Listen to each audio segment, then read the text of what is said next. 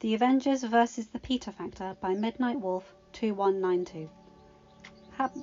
Chapter 4 Happy. Happy kept one hand on the lead kid's shirt as they walked, and the other was around Peter. Ned was waiting for them outside the locker room, and he threw his jacket over the slightly shivering Peter. The group walked down to the office, and the secretary looked up in confusion. I need to see the principal. Now, please. The woman jumped to her feet and knocked on Morita's door. The door opened and Principal Morita emerged, looking confused. What's going on here?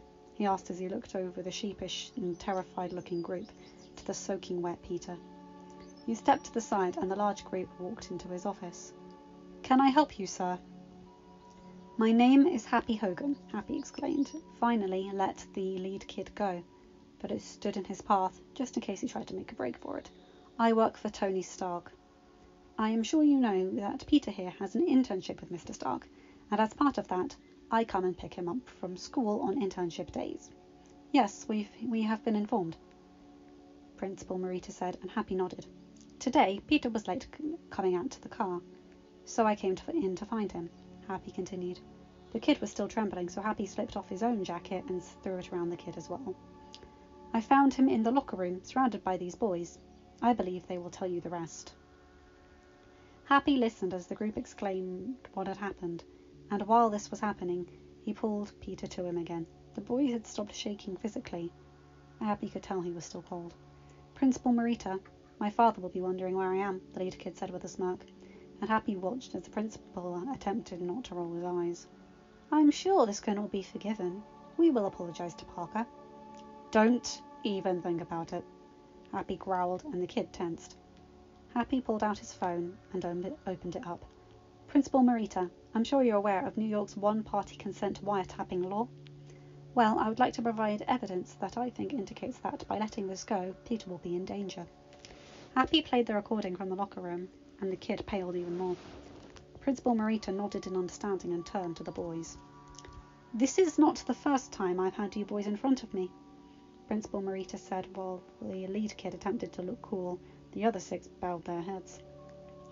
Given the circumstances, the general response here would be expulsion.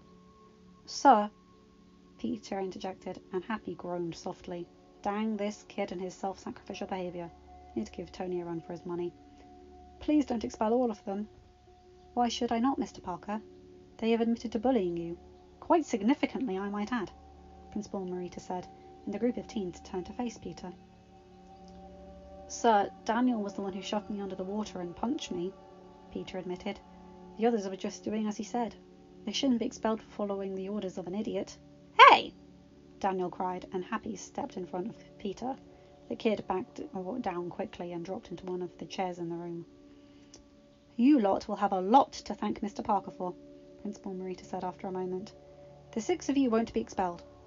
You will, however, be suspended for twenty-one school days which is the maximum suspension time I can give you without expelling you.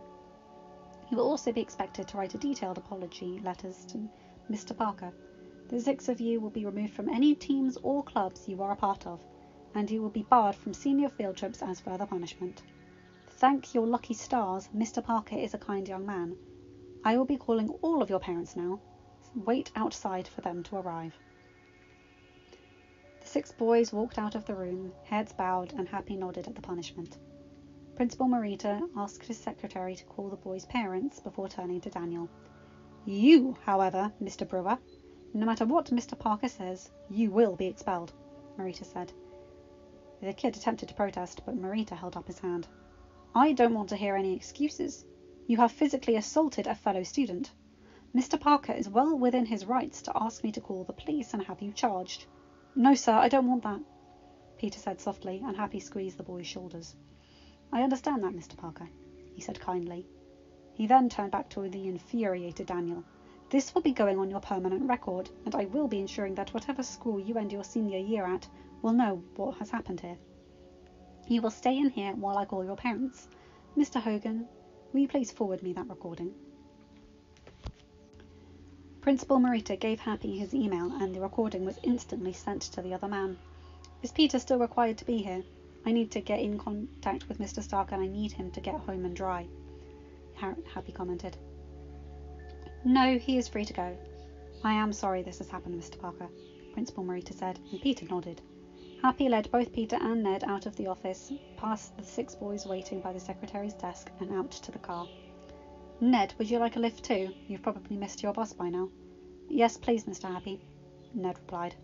Happy unlocked the car, and while Ned climbed in, Peter paused before following his friend. Peter?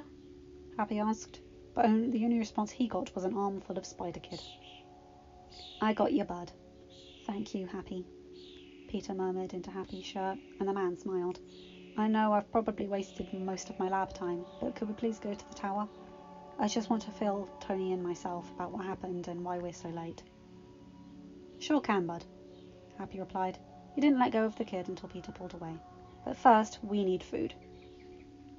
Peter and Happy climbed into the car, and after dropping Ned home, Happy drove through a McDonald's drive-through and just as they were leaving the restaurant, cheeseburgers, Big Macs, fries, and nuggets on board, Happy's phone rang.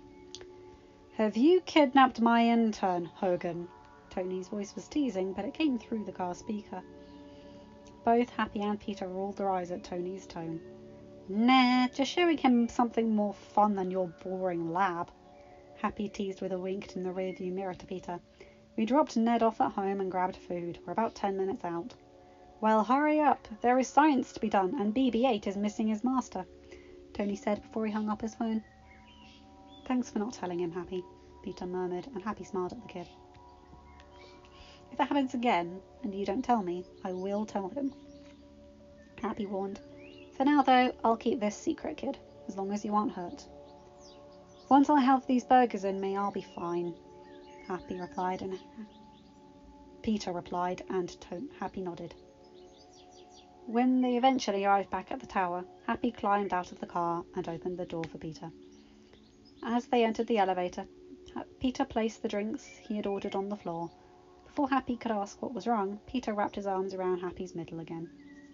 Peter wrapped his arms around Happy's middle again. All right, enough with the mushy stuff, kid. I've got a reputation to maintain. Happy teased after a minute. Peter released him from the hug and picked the drinks up again. What reputation? Peter asked with a raised eyebrow, and Happy laughed. Unbeknownst to the pair of them, Tony was watching the scene from his lab. He didn't know what had happened to make Peter so cuddly with Tony's friend. But when he looked at Happy's face, Tony pulled up the chart and marked another Avenger fallen to the Peter factor. The Peter factor for the Avengers, nil.